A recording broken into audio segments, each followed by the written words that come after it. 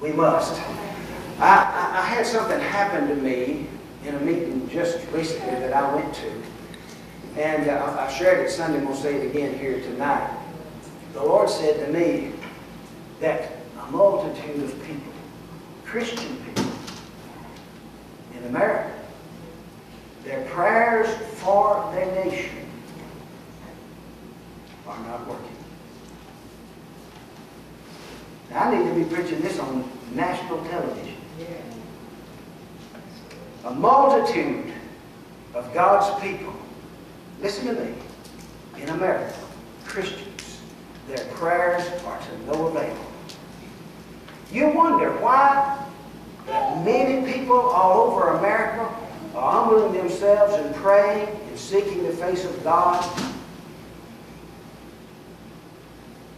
for our nation and are praying. Are you listening? Let me, let me give you a verse of scripture. Let, us look at it. Over there in 2nd, 1 Timothy. 1 Timothy chapter 2. You, you all know it. The Lord said this to me. Just as clear as I've ever heard the voice of the Lord. He said this to my spirit. First Timothy, first, uh, what, what I'm saying to you. There are numbers of people, a multitude of people, Christian people, in America praying for the nation and wondering why things are not changing in their nation. Wondering why that God has not changed our nation, healed our nation, brought restoration to our nation, changed our leaders, changed our government, changed the wickedness and ungodliness, healed our land. Humbling ourselves, praying, seeking the face of God. We left out one part turning from our wicked ways. Amen. I used to always say this, Lord, forgive me for my prayerlessness. Forgive me for not praying enough. Forgive me for not praying as I should have for my president, for, my, for the Supreme Court uh, justices, for the congressmen, for the senators, for the leaders. Forgive me for not praying enough. And then I've discovered that's really not the problem. That really not the problem, that, not, that, that, that people are not praying as, uh, enough. Amen. The biggest problem, bigger than, than the church is not praying, is that they've been praying and it's not been working. That's why so many quit praying, because their prayers didn't seem to be working.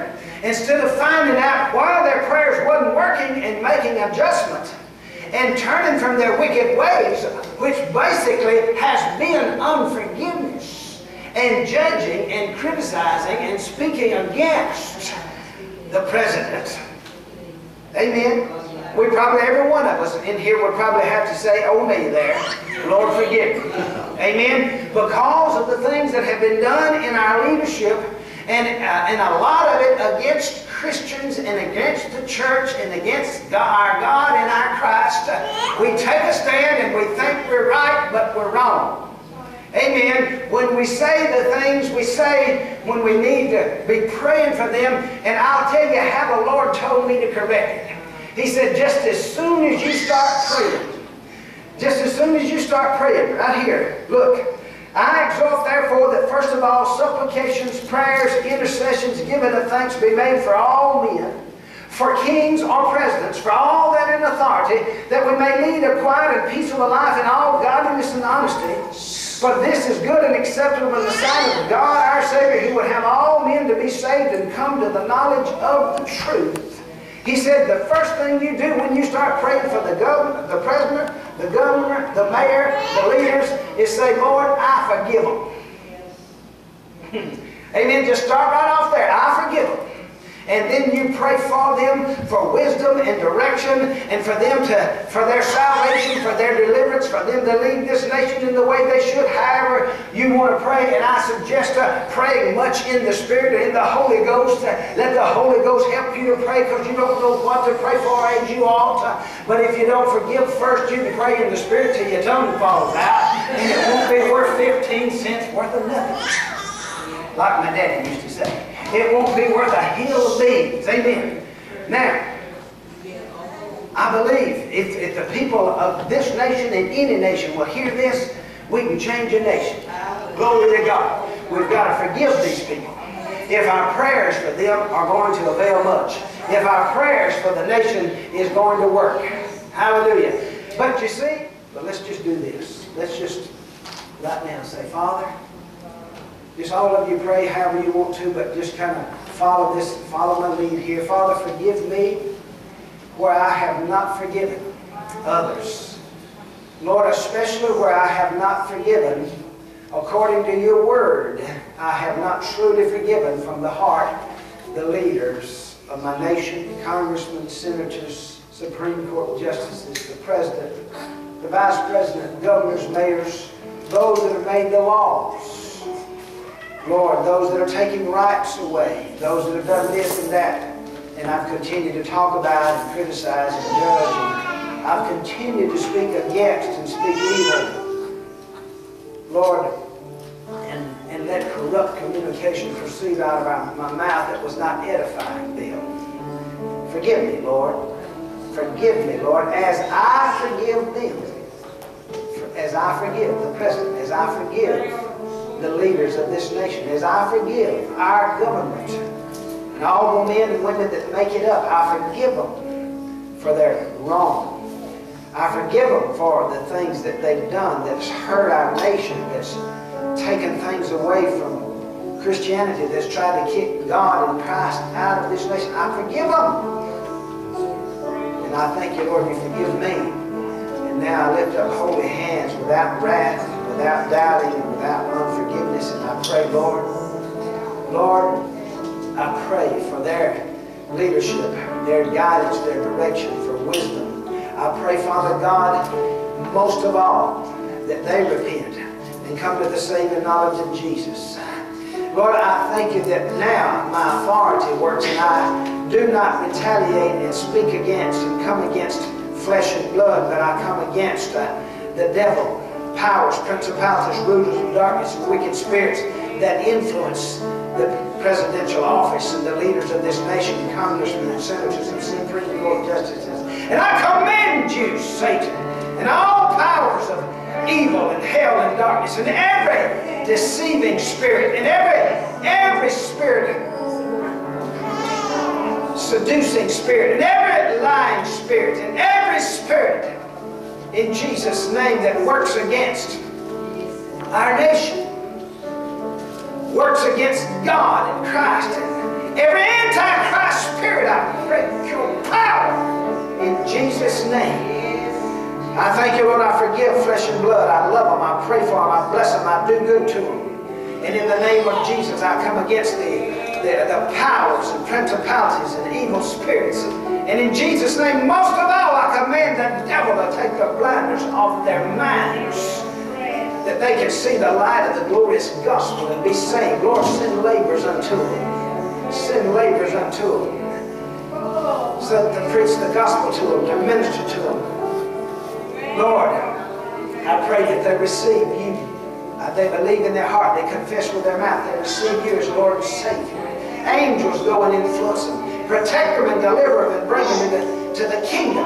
Bring them to the saving knowledge of Jesus. Lord, I thank you, Lord, as the church. I pray, we pray together tonight for this revelation. Lord, for this, for the church of America to see this revelation, Lord, that we must forgive our leaders if our prayers are going to be effective and productive and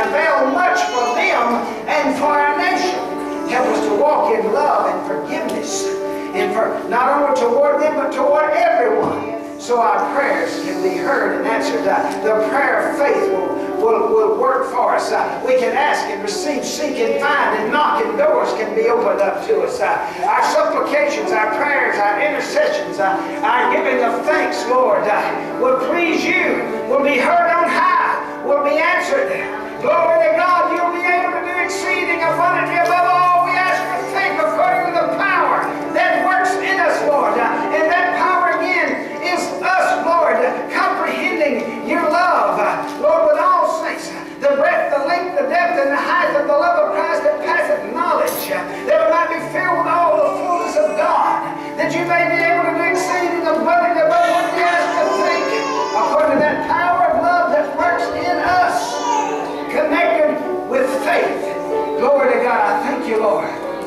heal our nation. You heal our nation. You, you heal our nation.